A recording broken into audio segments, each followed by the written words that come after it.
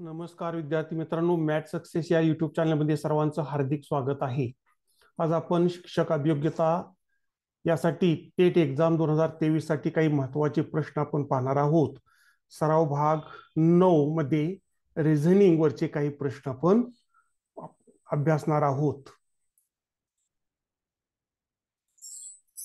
पहिला प्रश्न आहे समीर हा कबीरपेक्षा उंच आहे.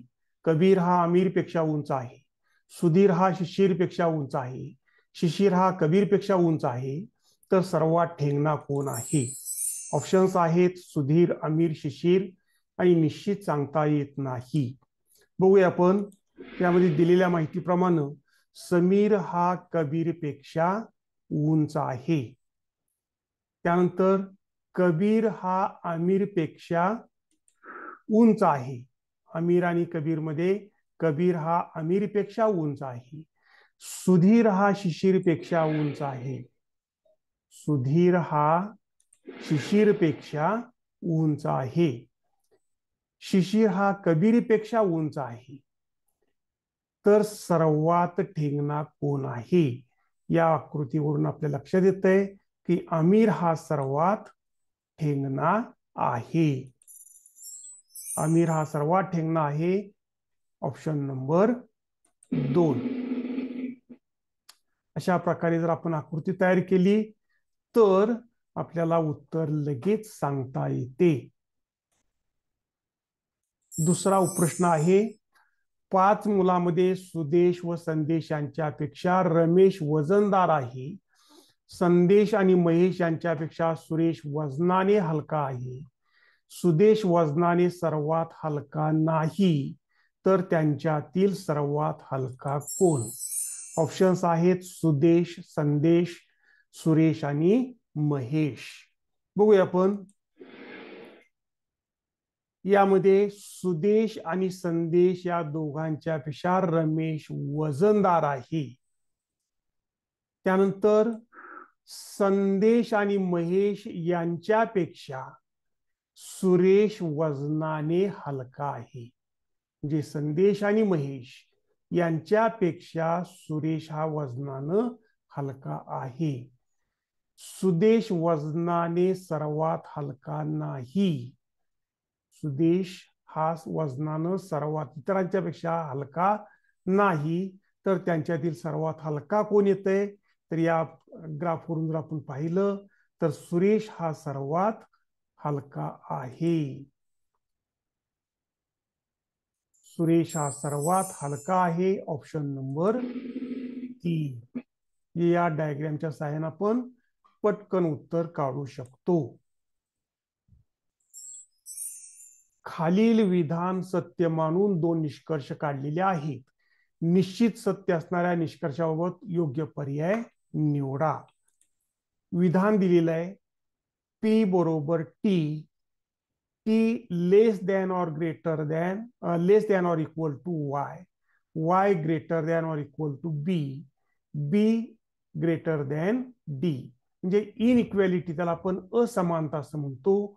असमानतेच्या संदर्भात या प्रकारची विधानं यावरील प्रश्न कसे सोडवायचे ते आपण पाहणार आहोत. दोन निष्कर्ष दिलेले आहेत. पहिला निष्कर्ष आहे टी बरोबर डी हा निष्कर्ष या विधानामध्ये आपल्याला तपासून बघायचा आहे. आणि तो सत्य आहे की असत्य ते आपल्याला ठरवायचं आहे. आणि दुसरा निष्कर्ष आहे पी ग्रेटर दॅन बी हा निष्कर्ष आपल्याला या विधानामध्ये पडताळून पाहायचा आहे. ऑप्शन्स दिलेले आहेत फक्त एक सत्य म्हणजे निष्कर्ष पहिला सत्य आहे. फक्त दोन सत्य एक व दोन दोन्ही सत्य एक व दोन दोन्ही असत्य. बघूया आपण आता पहिला निष्कर्ष आहे टी बरोबर डी आता या विधानामध्ये टी आणि डी या दोन अक्षरांच्या दरम्यानची सर्व अक्षर आपल्याला या ठिकाणी घ्यायची आहेत. म्हणजे T less than or equal to Y greater than or equal to B greater than D. यामध्ये T less than or equal to Y Y greater than or equal to B आणि बी ग्रेटर दॅन डी असेल. म्हणजे या विधानामध्ये दिलेली दोन अक्षर जी पडताळायची T बरोबर D हे जे आपल्याला पडताळायचं आहे या दोन अक्षरांच्या मध्ये असणाऱ्या संबंधामध्ये जर लेस दॅन आणि ग्रेटर दॅन म्हणजे ही उलट सुलट चिन्ह जी आहेत ग्रेटर दॅन आणि लेस दॅन ही दोन चिन्ह एकाच वेळी जर येत असतील तर त्यांच्यामध्ये निष्कर्ष काढता येत नाही. म्हणजे टी बरोबर डी हा निष्कर्ष असत्य आहे. त्यानंतर दुसरं विधान जे दिले दुसरा निष्कर्ष दिलाय P greater than B P आणि बी यांच्यापर्यंतची सर्व अक्षर आपण चेन्नई साह्यानं जोडलेली आहे. पी बरोबर T T less than or greater less than or equal to Y Y greater than or equal to B आता यामध्ये पी बरोबर टी आहे म्हणजे ची किंमत जर आपण पी ठेवली तर काय मिळेल? P less than or equal to Y आणि Y greater than or equal to B असेल तर पी ग्रेटर दॅन बी होऊ शकत नाही. कारण यामध्ये लेस दॅन आणि ग्रेटर दॅन ही दोन्ही चिन्हे एकाच वेळी आलेली आहेत. म्हणजे पी ग्रेटर दॅन बी हा निष्कर्ष काढता येत नाही तो असत्य आहे. म्हणजे दोन्ही निष्कर्ष असत्य आले. म्हणून पर्याय क्रमांक काय येणार आहे? चार येणार आहे. कारण दोन्ही निष्कर्ष असत्य आहेत. चौथं उदाहरण आपण बघूया. जर ए अधिक बी म्हणजे ए हा बीचा भाऊ आहे ए वजा बी म्हणजे ए ही बी ची बहीण आहे ए गुणिले एक्स म्हणजे ए ही बी ची पत्नी आहे आणि ए भागिले बी म्हणजे ए हे बीचे वडील आहेत तर खालीलपैकी कोणता पर्याय? यस हा पीचा मुलगा आहे हे दर्शवितो. म्हणजे यस हा मुलगा आहे हे आपल्या लक्षात आलं पाहिजे. बघूया आपण आता यामध्ये दिलेले पर्याय आहेत. पी गुणिले क्यू भागिले आर अधिक यस वजा टी. दुसरा पर्याय आहे पी गुणिले क्यू भागिले आर वजा यस अधिक टी. तिसरा पर्याय पी गुणिले क्यू भागिले आर वजा टी अधिक यस आणि चौथा पर्याय आहे पी गुणिले क्यू भागिले यस वजा आर अधिक टी या चार पैकी पर्यायापैकी आपल्याला योग्य पर्याय निवडायचा आहे. यस हा मुलगा आहे. आता पहिल्या पर्यायामध्ये आपण पाहिलं यस वजा टी तर यस वजा टी काय होणार आहे बघा? वजा चिन्ह असेल. ए वजा बी म्हणजे ए ही बी ची बहीण आहे. यस वजा टी म्हणजे यस ही टी ची बहीण आहे. म्हणजे यस ही मुलगी येते. म्हणजे पहिला पर्याय कॅन्सल. दुसरा पर्याय यस आर वजा यस. म्हणजे आर हा यसचा भाऊ आहे.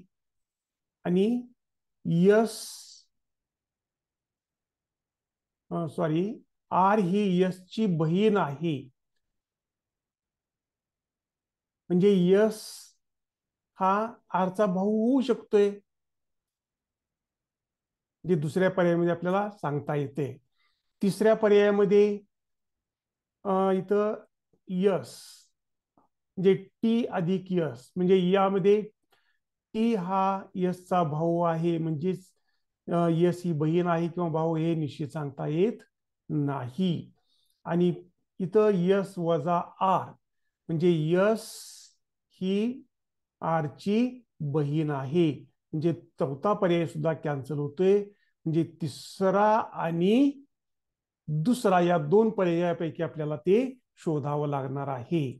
बघूया आपण आता यामध्ये पी गुणिले क्यू कारण प्रत्येक पर्यायामध्ये पी गुणिले क्यू आहे. म्हणजे पी ही क्यू ची पत्नी आहे. त्यानंतर क्यू भागिले आर म्हणजे क्यू हे आर चे वडील आहेत. आणि आर वजा यस म्हणजे आर ही यस ची बहीण आहे. म्हणजेच यस हा आरचा भाऊ होऊ शकतो. म्हणजेच या ठिकाणी आपल्याला काय सांगता येईल बघा आता? आर हा यसचा भाऊ आहे. म्हणजेच पी व क्यू हे आर व यश चे आई वडील आहेत. म्हणजेच यश हा पीचा मुलगा आहे. आणि हा संबंध दर्शवणारं समीकरण दाखवलेलं आहे. ऑप्शन नंबर दोन मध्ये पी गुणिले क्यू भागिले आर वजा यस अधिक टी म्हणून ऑप्शन क्रमांक दोन. पुढील उदाहरण क्रमांक पाच बघूया आपण. जर ए अधिक बी म्हणजे ए हे बीचे वडील आहेत. ए वजा बी म्हणजे ए ही बी ची पत्नी आहे. ए गुणिले बी म्हणजे ए हा बीचा भाऊ आहे. आणि ए भागिले बी म्हणजे ए ही बी ची मुलगी आहे.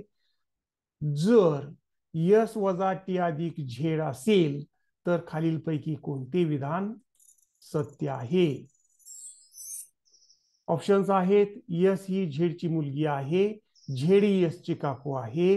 झेड ही यस ही झेडची काकू आहे आणि यस ही झेडची आई आहे. बघूया आपण दिलेला संबंध यामध्ये दिलेला यस वजा टी अधिक झेड. यामध्ये काय काय संबंध दर्शवला जातोय बघूया आपण. यस वजा टी वजा चिन्ह असेल तर ए ही बी ची पत्नी आहे. म्हणजे यस ही टी ची पत्नी आहे. वजा चिन्ह. आणि टी अधिक झेड असेल तर टी हे झेडचे वडील आहेत. यस ही टीची पत्नी आणि टी हे झेडचे वडील. म्हणजेच यस आणि टी हे झेडचे आई वडील आहेत. म्हणजे झेड हे यस व टीचे अपत्य आहे. म्हणजेच यावरून आपल्याला सांगता येईल की यस ही झेडची आई आहे. ऑप्शन नंबर चार. सहावं उदाहरण आपण बघूया. एक काम पी आठ दिवसात क्यू बारा दिवसात आणि आर सोळा दिवसात पूर्ण करतो. जर दुसऱ्या दिवशी पी आणि क्यू ची मदत मिळाली तर आर हे काम किती दिवसात पूर्ण करू शकतो? ऑप्शन्स आहेत सात दिवसात दहा दिवसात चार दिवसात आणि सहा दिवसात.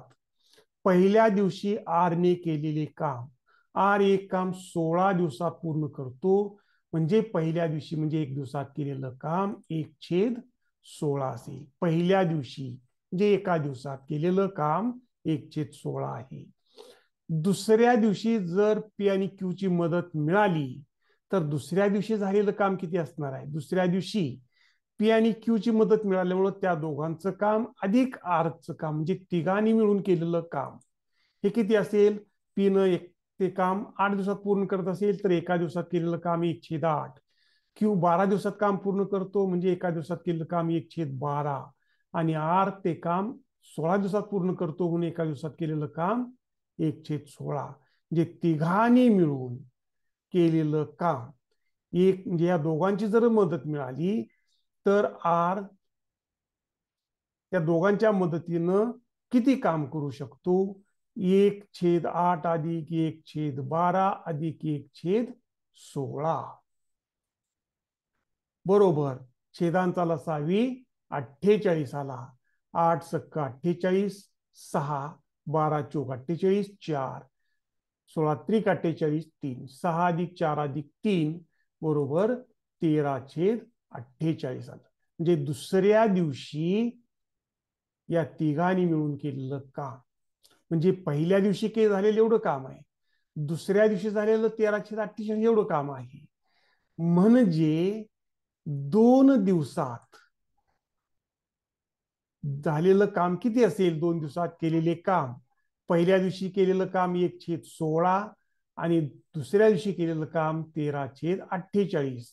छेदांचा चावी अठ्ठेचाळीस आला सोळा त्रिक अठ्ठेचाळीस जे तीन एके तीन तीन आलं आणि अठ्ठेचाळीस एके अठ्ठेचाळीस एक गुणिले तेरा. तेरा एक तीन अधिक तेरा बरोबर सोळा छेद अठ्ठेचाळीस. म्हणजे दोन दिवसात केलेलं काम सोळा छेद अठ्ठेचाळीस इतकं असेल.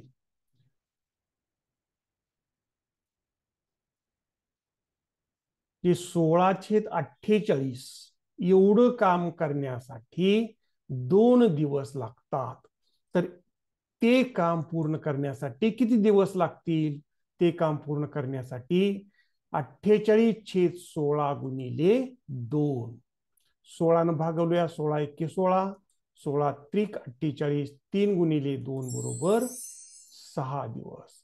म्हणजे जर पी आणि क्यू यांची मदत मिळाली तर आर ते काम सहा दिवसामध्ये पूर्ण करू शकतो.